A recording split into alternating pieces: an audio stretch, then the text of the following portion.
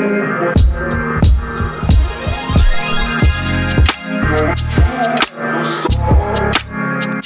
guys, Will here and today I'll be setting up a video loop system using the Raspberry Pi 3 B+. This is basically a really miniature computer for a fraction of the price that you pay for a normal laptop or standard PC. There's countless applications for the Raspberry Pi, but today we'll be turning it into a video loop system. Video loops can be super useful for art projects and prominent names such as Eva Koch and Bill Viola have used these throughout their whole art careers. They can also be super useful at trade shows where you're trying to show off a product demo or maybe you want to play your favorite movie on repeat in your studio space. The end result of this project will be a super low cost unit that you can plug into any screen that is HDMI capable with a power outlet nearby.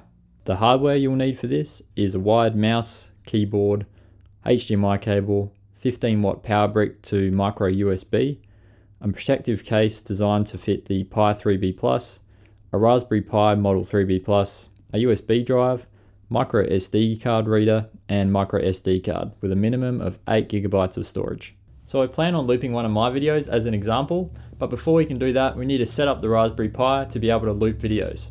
That can be broken down into five simple steps. Step 1. Downloading Raspberry Pi Imager software and downloading the operating system to a micro SD card. Step 2. Connecting the Pi to a display, power, and connecting it to a Wi-Fi network. Step 3 is installing the video loop software directly to the Pi. Step 4 is loading the movie files onto a USB drive. And finally, step 5 is to connect the USB drive to the Pi to start the video loop.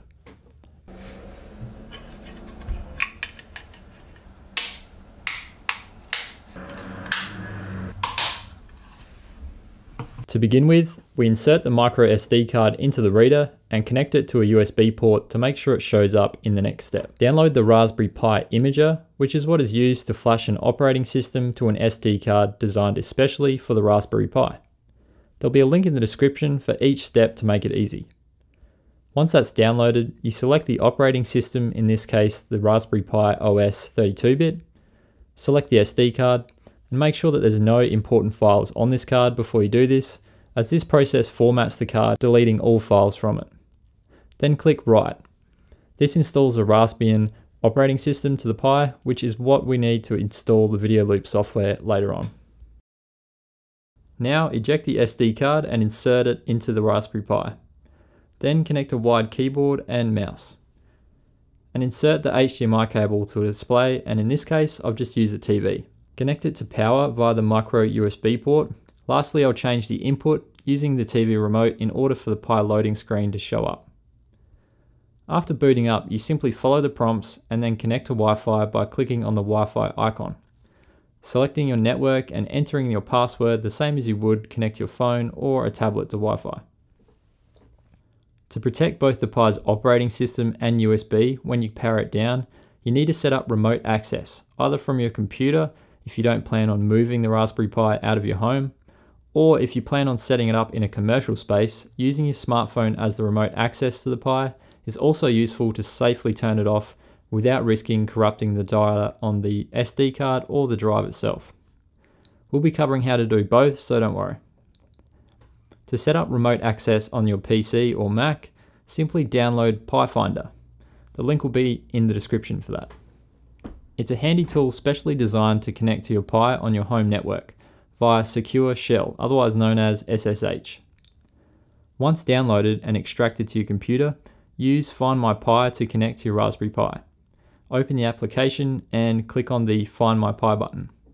Once found, it will show the IP address in the window just like this. Simply change the SSH password to whatever you changed it to during the OS setup, then hit terminal to make the connection. If successful, you should have a screen that looks something like this. Awesome, now let's practice turning it off safely by simply entering the command sudo power off. It should power down and when it does, it just switch the outlets off and on again to reboot the system. This next part is if you plan on setting up the Pi in a workspace that isn't on your home network and you still need a way to safely power it down to remove the USB and or just keep your OS SD card in safe working order. Start by downloading the app named Raspberry Controller from the Google Play Store and click on the plus to add a device. Now disconnect the Pi from the wireless network and also disconnect your phone from the wireless network.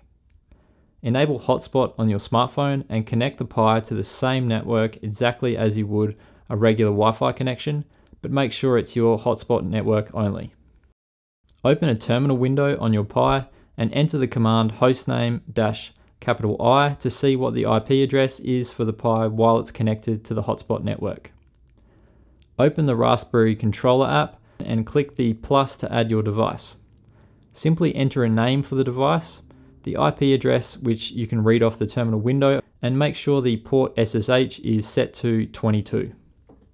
Enter the password you entered on initial setup of the Raspbian operating system. Click on the device once it's added within the app and scroll down to shut down device. This basically acts as a power button and once set up is very easy to use. You simply open the app and hit the shutdown device prompt to turn off the Pi safely without having to worry about possibly corrupting the SD card for the device. Now that we can safely power it down, it's time to install the video looping software. Again, use the Raspberry Pi Finder to connect to the SSH terminal. Once connected, enter the following series of code, followed by enter to install the video loop software directly to the device.